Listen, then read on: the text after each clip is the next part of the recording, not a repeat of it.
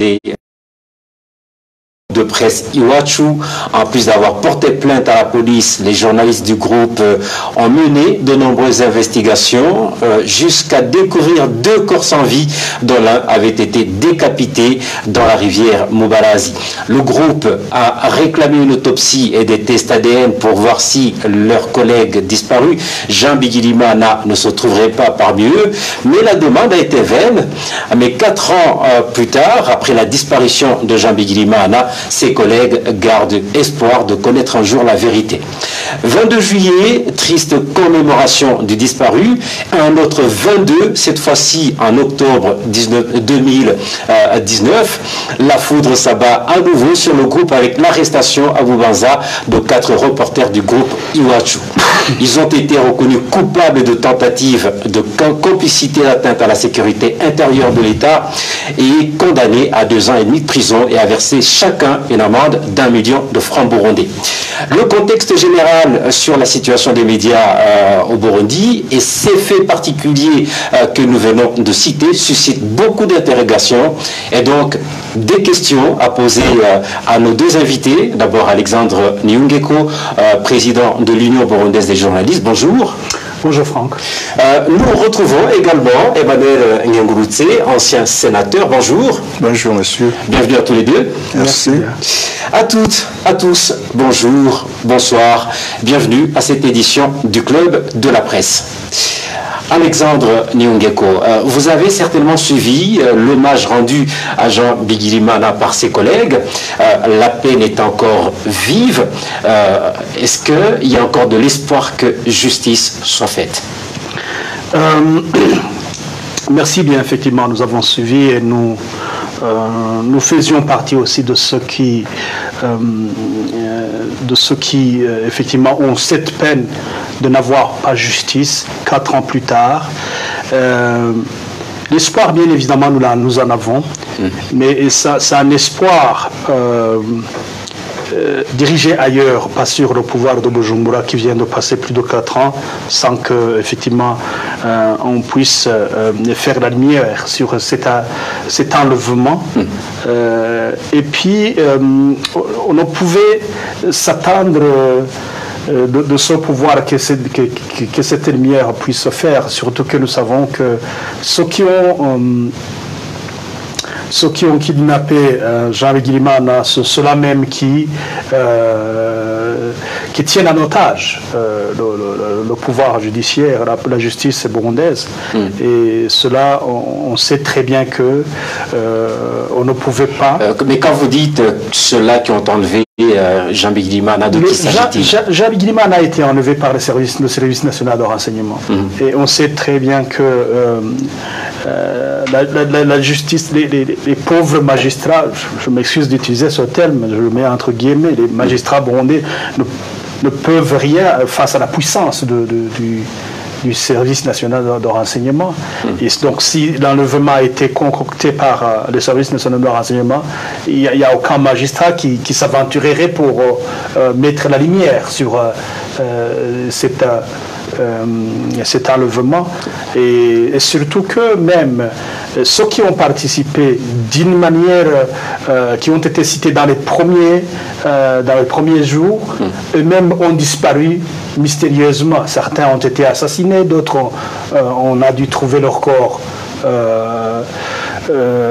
jetés dans, la, nature. Dans, la nature. Mm. Et donc, voilà, c'est c'est cette peur-là que cette machine à tuer a déjà instaurée qui fait qu'effectivement la, la, justice, la, justice est devenue euh, euh, inexistante euh, pratiquement. Et, donc, Mais donc pour nous, cette justice-là, ce sera quand le Burundi aura recouvré l'état de droit, que l'état de droit aura retrouvé sa place au Burundi. Hmm. Nous savons très bien qu'à ce moment-là, la justice euh, redorera son blason et euh, cette justice-là qui euh, sera indépendante et va effectivement mettre la lumière sur tous ces crimes. Ce n'est pas uniquement, ce n'est pas uniquement Guillemana. Mais à, vous entendre parler, c'est comme si euh, ce sont euh, les services, notamment de la police, qui sont beaucoup plus impliqués euh, sur ce dossier-là, que la justice, elle, ferait bien son travail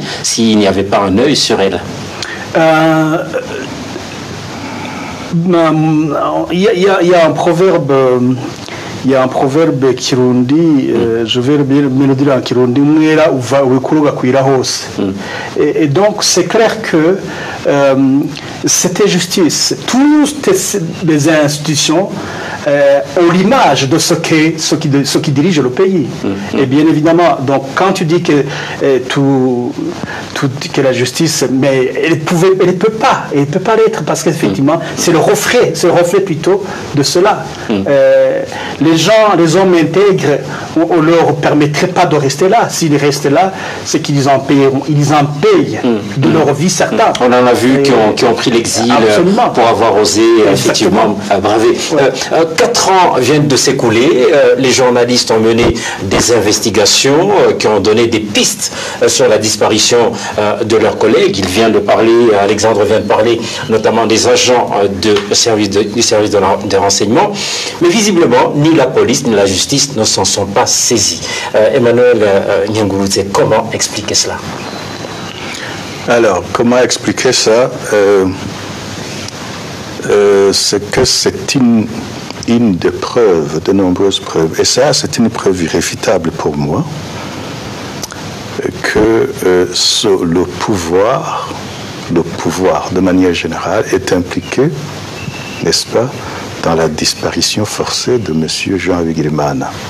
Parce que l'ordonnancement juridique et institutionnel en vigueur au Burundi exige que le la police, la magistrature, à, travers le, ministère public, doivent se porter se transporter sur le lieu du crime et faire en sorte que des investigations soient rapidement menées pour découvrir les auteurs des forfaits, des infractions, n'est-ce pas?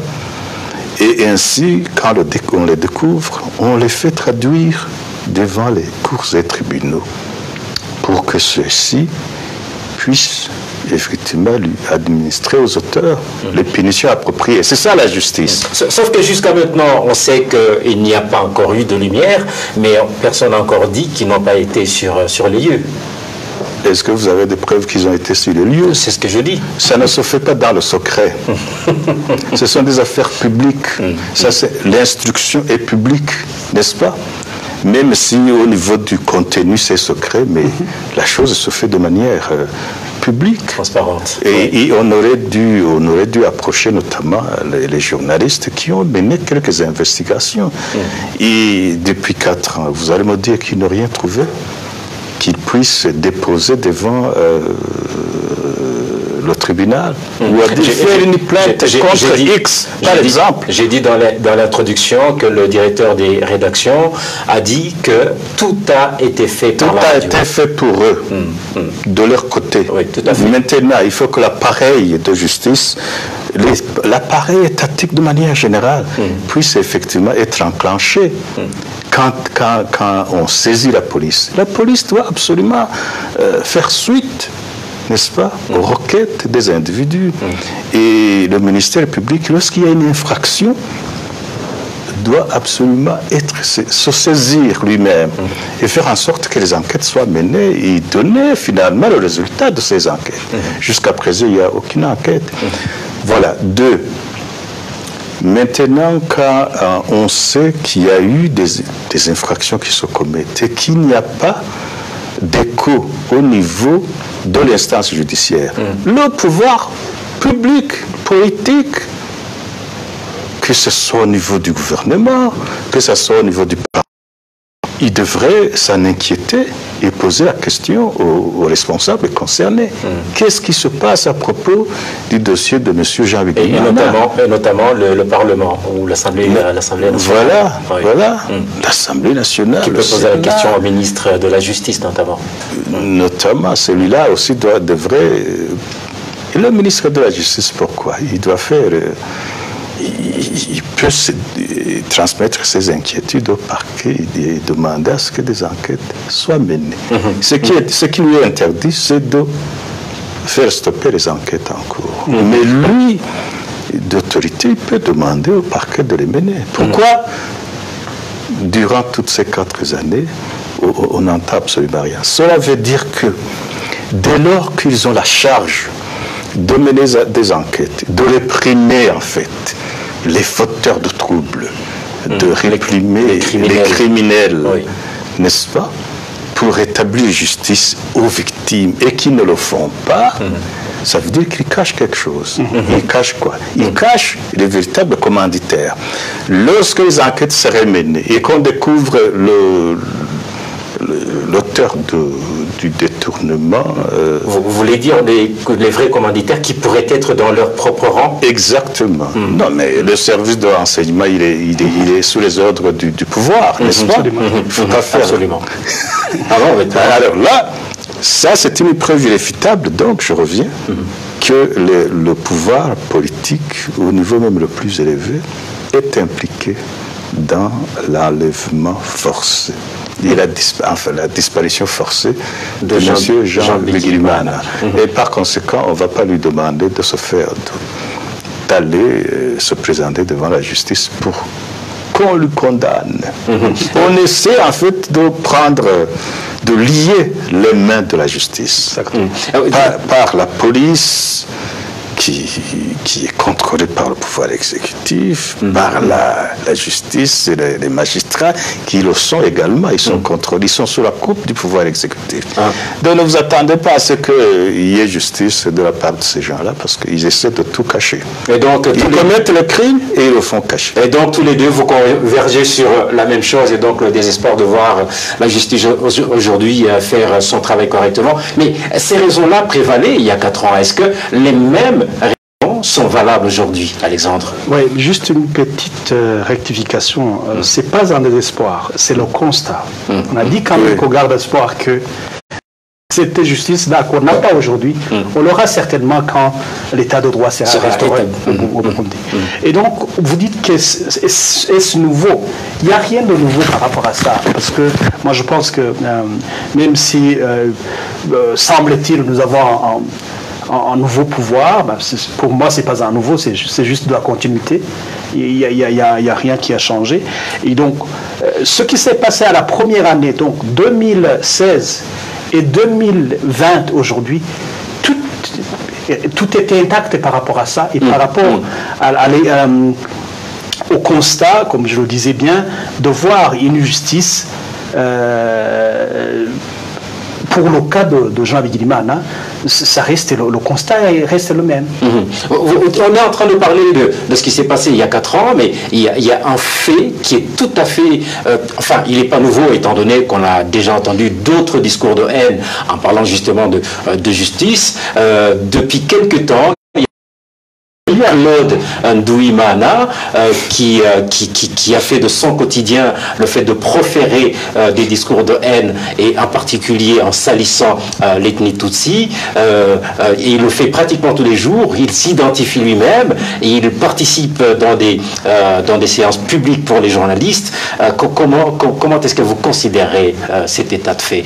Voilà. C'est juste une parenthèse et on reviendra sur. Non, c'est très important. Ce n'est même pas une parenthèse. Je pense que c'est très important de le, euh, de le relever, euh, parce que ce Kenny Claude, il, est détenteur d'une carte de presse, lui délivré officiellement et publiquement par le Conseil national de la communication. Mhm.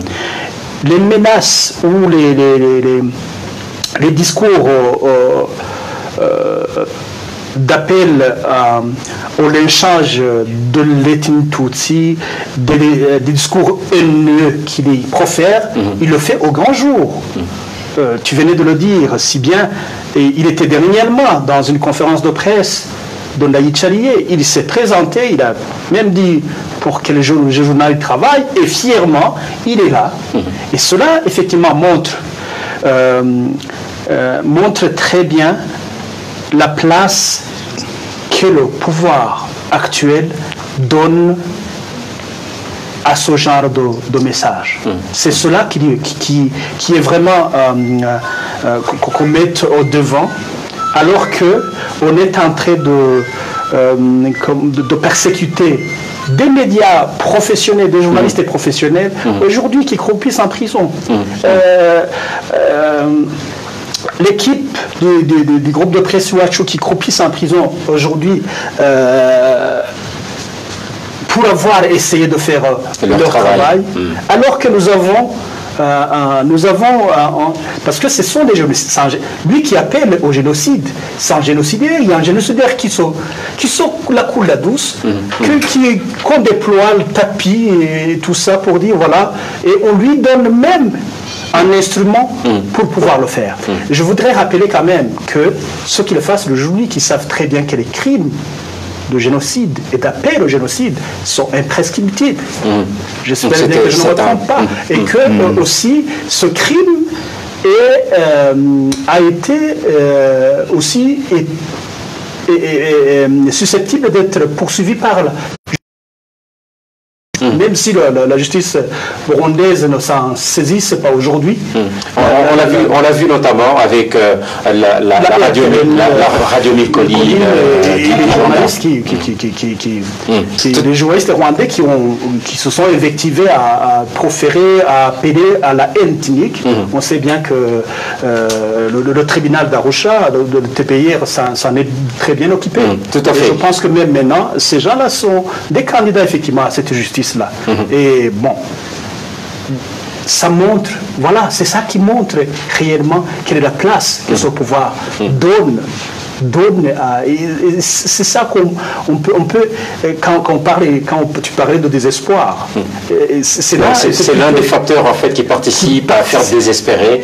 Euh, pas désespérer, ça je, je, veux, je veux à, constater. À, faire ce constat, amer, hmm. constat amer certes, hmm. que euh, on n'a on pas, le pouvoir n'a pas intérêt à avoir une presse indépendante, une mm. presse mm. libre, mm. parce que sinon, ce serait euh, permettre à ce que tous ces crimes euh, soient étalés au grand jour. Parce que c'est ça que, euh, c'est ça, donc mettre à nu toutes les violations. Mhm. C'est cela, normalement, le travail de, des médias mhm. indépendants. Tout, à fait. Euh, euh, Emmanuel, c'est exactement, quand on parle de cette absence de justice à l'endroit euh, du cas de Jean Bigilimana, c'est exactement la même chose pour le cas du caméraman de la RTNB, feu Christophe Ngezabaïzi, qui a été assassiné avec toute sa famille par des policiers identifiés par des témoins comme ceux de l'API,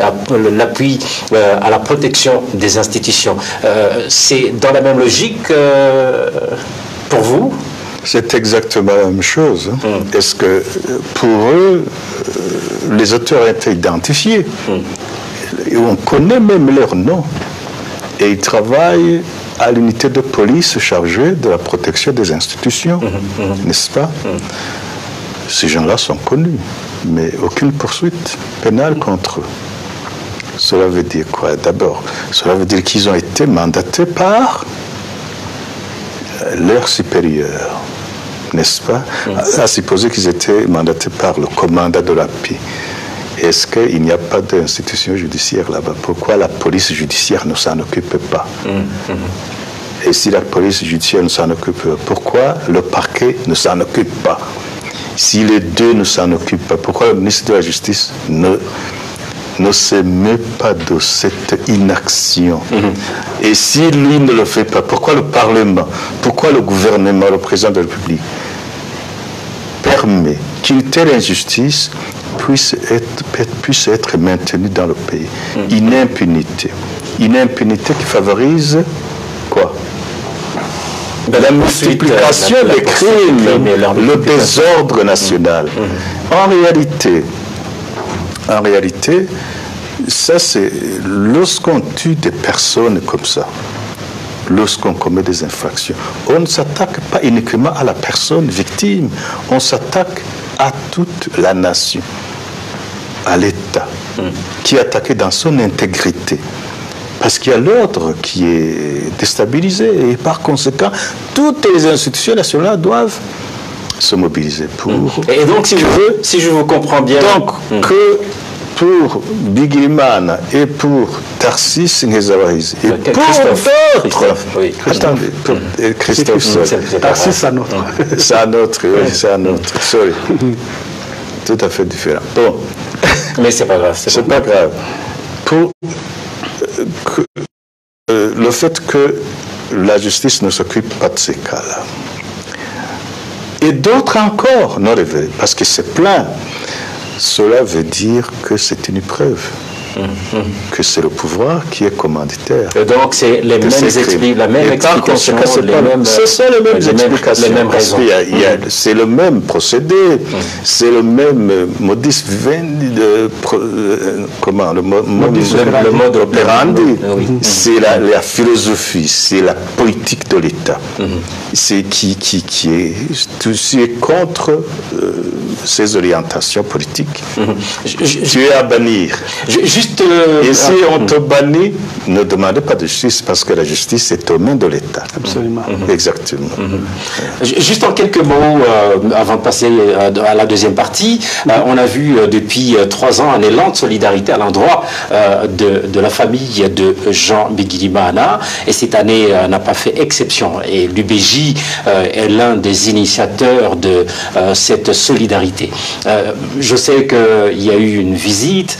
Est-ce que la famille est toujours autant affectée, je veux dire psychologiquement. Euh, Quelle question vraiment. Comment est-ce qu'elle ne peut pas être affectée euh, Voyez-vous tout, le monde est En fait, ça fait, partie de, ça fait partie des conséquences, mais c'est important quand même que, La famille tient bon, certes, oui, mais elle reste quand même affectés. je pense nous tous d'ailleurs, c'est pourquoi nous on continue à crier. Mm. sinon, parlant de solidarité, euh, je pense que euh, ça a toujours été euh, le leitmotiv de de, de, de, de, la, de la famille des professionnels des médias burundais. Mm-hmm. ce, n'est pas quelque chose que, qui, est, qui, qui est né aujourd'hui. certes, je,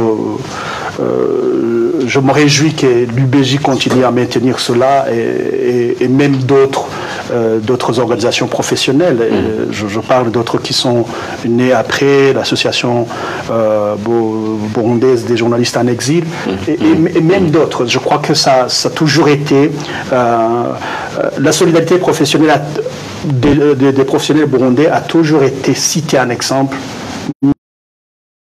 sur le continent africain et même à l'international. Là, mmh. ça, je le témoigne. J'ai toujours participé à des forats, même que ce soit régionaux au niveau de, de, la, de la Fédération africaine des journalistes ou même au niveau de la Fédération internationale des journalistes. Mmh. On a toujours été cité un exemple comme euh, vraiment un exemple de solidarité. Mmh. Et là, euh, ça date déjà euh, de quelques années, avec surtout quand les, les, les, journalistes étaient en difficulté.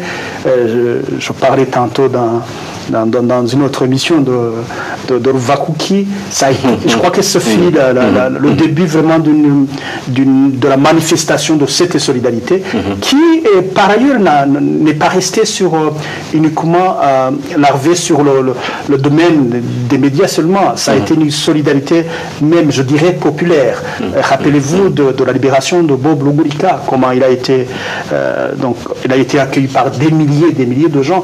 C'est vraiment cette solidarité Et cette solidarité, je crois que elle émane du fait de la nature du travail que nous faisons. Mhm. Je pense mhm. que euh, le service que nous rendons au public, euh, c'est ce service-là qui, en retour, mhm. euh, nous. Avec les retombées, euh, oui, mm, avec l'impact que cela, le travail a. Donc, c'est une manifestation de cette reconnaissance. Absolument. Et je, crois que, je, pense que cette solidarité-là, on devrait la maintenir. Mhm. Et je crois qu'on peut dire à tout le monde, à la famille de Jean Ténébeau, c'est mhm. certes difficile, mais nous sommes ensemble dans, dans cette douleur.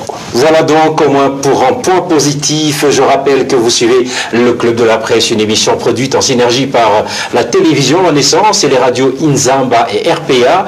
Aujourd'hui, nous parlons de l'état actuel de l'exercice de la profession de journalisme au Burundi. Et pour cela, nous sommes avec euh, Emmanuel Nyengurutse, ancien sénateur, et Alexandre Liungeko, président de l'UBJ.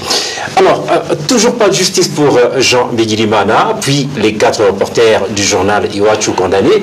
Emmanuel, vous êtes un consommateur averti de l'information. Quelles pourraient être les conséquences de ce contexte sur les autres journalistes? Ah, question très difficile. Mmh. Et aussi facile. Hein. Est-ce que vous espérez, est-ce que vous espérez euh, avoir de l'information euh, autant que vous le souhaitez dans un contexte pareil? Je pense que ce qui souffre le plus, ce sont les Burundais qui sont au Burundi. Mmh, mmh. Ça, c'est clair. Parce que là, on leur coupe euh, du médium euh, le seul qui puisse travailler de manière un peu indépendante et qui puisse donner des informations véridiques, hein, mhm. Euh, le, groupe Iwachu, n'est-ce pas? Parce qu'ils sont, euh, notamment par l'emprisonnement des quatre journalistes. Mhm, tout à fait. Oui, pour Jean Beguiriman, ils ont pu continuer comme ils pouvaient. Mais maintenant, ils essaient de continuer. Mais voyez-vous, euh, il y a une information qui, il y a des moyens qui vont leur manquer. Probablement même, alors les consommateurs de l'info étant basés au Burundi. Et là, ils, vont, ils seront obligés d'entendre des informations. Et, quand vous parlez des, propagandes, des, des propagandes, Claude, le genre d'informations pas une dame. non, je ne sais pas. Ne. Bon. Alors, c'est ça. Pour eux, il est la seule source indépendante qui leur reste. Mais quand vous parlez de moyens, de quoi vous voulez parler exactement De moyens, ça veut dire les journalistes, mmh, mmh. Les, ressources humaines. Oui et expérimenter. Quatre, unités, c'est beaucoup. énorme. Oui, pour, euh, pour, pour, euh, un médium indépendant, c'est mm. beaucoup. Parce que là, au niveau de l'efficience, il n'y a pas trop de monde. Mm. Le budget n'étant pas celui de l'État, par exemple on peut toujours mettre des gens mm-hmm. qui ne produisent absolument rien. Ils vont mm-hmm. toujours avoir euh, des émissions à produire. Mm-hmm. Alors, mais pour les Burundais maintenant se trouver à l'étranger, heureusement que vous êtes là. Ben, il, y a, des journaux indépendants, beaucoup d'ailleurs. Et pour nous, c'est pour ceux qui sont à l'extérieur l'impact n'est pas énorme. Mais, mais, ceux du Burundi également, avec les réseaux sociaux, ils arrivent quand même les à, réseaux capter, sociaux, capter les, réseaux sociaux, ce n'est pas tout le monde qui en bénéficie euh, avec les conditions de vie des Burundais, même ceux qui perdent de plus en plus. Euh, consécutivement à la paupérisation croissante euh, de la population burundaise. C'est ça la nuit. Le, grand impact négatif, c'est bien celui-là. Alexandre, l'une des conséquences de ce euh, une certaine autocensure, n'est-ce pas? Absolument. Lui, il vient de parler d'un problème d'unité, euh, mais il y a certainement une certaine, étant donné euh, sans doute qu'il peut y avoir un problème de liberté. ce n'est pas que l'autocensure, en mon mm. avis, je crois que c'est plus grave que ça. Mm, mm. C'est plus grave que ça, surtout quand nous avons le contexte dans lequel où des rédacteurs en chef ont été convoqués au service national de renseignement pour leur demander quelles sont les nouvelles que dont vous allez traiter aujourd'hui, vous comprenez très bien que ça, je n'appellerai pas cela autocensure. Mhm. Je dirais plutôt. C'est de la censure. Euh, c'est de la censure. En fait, l'autocensure, à mon avis, ça devient plutôt une sorte euh, qu'est-ce que vous voulez C'est une sorte d'inertie de, par rapport au fait de dire, voilà, euh, qu'on ne me coupe pas la tête. Hmm. Si je sur ce sujet-là, hmm. euh, on va me couper la tête. Hmm. Ce n'est pas de la simple autocensure. Je crois disant voilà, ben, je laisse ce sujet, tout ça. On, mais, on peut mais quand ça parler de prudence. Mais, mais, vraiment, c'est pas, c'est pas ça. C'est pas vraiment de, de la. C'est ils, sont, ils sont menacés. Ils sont ils, sont, beaucoup plus puissants. Ils sont purement interdits. Mhm. C'est vraiment de l'interdiction. C'est n'est pas vraiment de l'autocensure. Parce que si on dirait, voilà, euh, c'est de l'irresponsabilité. Mais ils sont interdits de traiter ces sujets-là. Parce que euh, vous allez le voir. Je crois que je discutais avec, euh, avec un ami à, propos mmh. rapidement, rapidement, qui, me disait, mais on ne voit pas par exemple dans les médias burundais où on, vous parlez de, des corps sans vie qu'on trouve à gauche, à droite. Mmh. Mais c'est très rare qu'on les trouve dans les médias burundais. Et voulez-vous, pourquoi, comment voulez-vous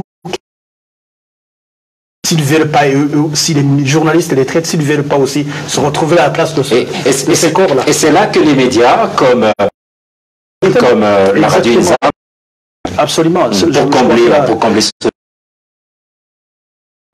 euh, Emmanuel a bien euh, en exil essaie de faire ce qu'ils peuvent faire. Évidemment, ça reste limité parce que c'est limité aussi par les moyens. Euh, pouvoir collecter, traiter de l'information à distance et la traiter de manière professionnelle, ça a un coût d'abord. Certainement. et, ce coût, c'est pas toujours évident que euh, il, y, en a, mais je crois que ces médias, ils essayent. Hmm. je, pense que euh, même d'autres l'ont dit, bon, c'est pas pour se gargaliser, mais je pense que... des fleurs. Euh, mais hmm. Je crois que nous essayons de contribuer. C'est un service public que nous rendons, et d'ailleurs, je pense que c'est une obligation pour nous hmm. de rendre ce service, parce que le public a besoin de... plutôt, c'est pas un besoin seulement, c'est pas plus qu'un... C'est plus qu'un besoin, c'est un droit crois que nous, en, contribuant à ce que le public ait accès à cette information, à, ce droit, à, ce droit à l'information, nous avons aussi l'obligation de pouvoir le faire. Absolument. Euh, pour terminer, juste euh, en quelques secondes, euh, il y a une mauvaise nouvelle qui nous est parvenue ce matin. L'ancien facilitateur dans le dialogue interborondais, Benjamin. Vous parlez de médiateur. Oui. le facilitateur, ah d'accord, ok. Euh, le, médiateur. je, les confonds, hein, le médiateur ah le facilitateur. Le médiateur, c'est Mousseveni, facilitateur, c'est Benjamin. Ah ben voilà, donc j'avais raison. Oui, oui. Bah, je aïe, aïe, aïe, merci maître, j'ai mon avocat en présence, euh, heureusement sur le plateau. Donc on parlait de Benjamin Kappa, donc, qui est décédé la nuit dernière. Un mot sur son implication dans euh, le processus de dialogue interborondais un mot que Dieu est son âme, Père son âme. Hmm. Et deux, il avait essayé tous les moyens possibles. Investi des moyens apparemment techniques que euh, la facilitation entre le pouvoir et l'opposition hmm. euh, puisse aboutir puisse aboutir en fait à ce qu'il avait contribué auparavant quand il était en Tanzanie, n'est-ce pas, à signer des réconciliations. Mais ça n'a pas marché parce que euh, lui-même, il a dit, il a donné dans son rapport, il a été boycotté par ceux qui devaient l'aider. Euh, bon, le gouvernement burundais, bon, dans sa vision politique euh, autoritaire euh, aux allures euh, dictatoriales. C'est normal qu'il ait boycotté, mais ce qui est curieux, c'est que certaines autorités tanzaniennes l'ont boycotté, surtout mm, mm. la Tanzanie jouant un rôle très important elle qui a abrité les négociations de paix d'Arusha. Quand vous parlez de, certaines autorités, c'est vous parlez, parlez de, gouvernement, vous parlez de la présidence, de qui parlez-vous exactement? De qui côté? Celui-là qui a le pouvoir réel en Tanzanie. est un groupe qui, évolue autour de lui. Qui, mm. Lui, il a des intérêts énormes au Burundi, mm-hmm. intérêts économiques. Euh, je crois qu'il pouvoir au Burundi se fait ah, il a fait en sorte. Donc, il n'a pas voulu que le du CNDD-FTT puisse s'assouplir. Pourquoi? Parce que lui aussi n'est pas garanti de, de la stabilité, de la durabilité de ses intérêts. Quand, euh, je ne sais pas, moi qu'il qu'il utilise d'autres parce que les relations entre les Tanzaniens et le Burundais sont normalement très bonnes depuis longtemps. Et c'est dommage qu'ils aient trahi, n'est-ce euh, Julius Nyerere. Et alors, là, il n'a pas pu arriver à, à un résultat quelconque, mais lui, il avait essayé. Et la faute n'est pas à lui. Al- Alexandre, euh, il, il dit que Benjamin Kappa euh, avait les mains euh, liées, ligotées. Euh, C'était également votre constat? Oui, c'est le constat amer et malheureusement il- ligoté par un, un de ses compatriotes qui, qui fait de- du Burundi son business personnel. Euh, qui fait la, la pluie et le beau temps.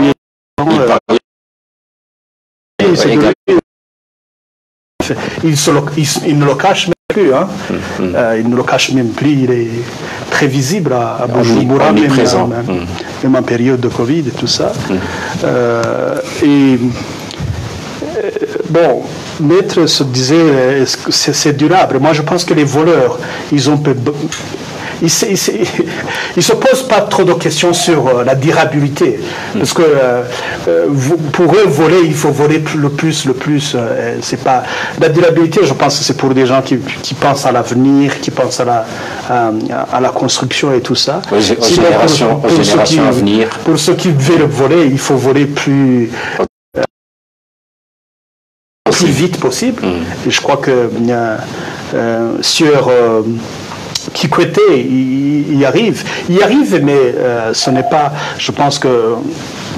On s'en, prend- Si c'était que lui, non. C'est que, en fait, il est, il est facilité dans cela par, par des Burundais. Mais, mais un mot, c'est le départ de, de Benjamin Kappa, qui était considéré Bon, comme un ah, sage. aussi, quand même, il, il était âgé, euh, après tout. euh, Il était né en 38. Bon, il est vrai qu'il y en a encore qui, qui, qui vivent encore, euh, qui ont plus de son âge. Mais moi, je pense que oui, c'est un vieux qui part. Je crois qu'il faut le souhaiter. euh, de, se- de reposer un peu. un, bon, un bon, bon repos, que la terre lui soit légère, comme on dit. Et, mais, mais sinon, bon, le constat, il, a, il, a, il, est, il, il, est, mais il est parti. Je crois que c'est aussi, ça fait partie aussi des choses qui l'ont certainement euh, affaibli, hein, parce que à son âge, bien évidemment, euh, croyant pouvoir donner sa force pour euh, résoudre cela, et que finalement, qu'il s'est, euh, qu'il s'est retrouvé lui-même. Il, a dit dans le discours de, de, donc, de, de démission que euh, voilà ce qu'il, est- ce qu'il espérait qu'il cela euh, lui rendre la vie difficile. Et finalement, à, la, à des positif. oui. Voilà, donc c'est par cette page nécrologique que se clôt euh, cette édition euh, du Club de la Presse. Merci à nos invités, Alexandre Liungeko, euh, président de l'UBJ, et Emmanuel Nyangulutse, ancien. Merci également à toute l'équipe technique, à toutes, à tous. Rendez-vous la semaine prochaine pour un nouveau numéro du Club de la Presse. D'ici là, portez-vous bien.